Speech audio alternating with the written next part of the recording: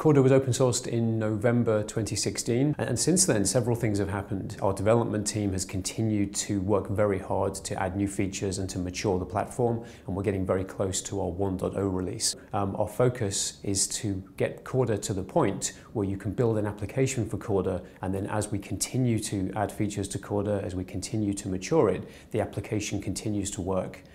Now that sounds quite technical, that sounds like um, something that surely should just happen in any case. But what we find so often in this industry and others is that developers don't give enough thought to um, the experience of people who are building on top of their platforms and that makes it harder to, to grow the community and, and reach success. So we're very focused as, as the builders of the Corda platform to make sure we give a really good experience to those people who are building on top of it. And what we're saying with our 1.0 release is that the API will be stable at that point. So as we add these new features, um, Sure, there will be new APIs, there will be new features, but the existing applications won't break. And that gives people confidence to invest heavily to build out their, um, their applications and services as they are doing.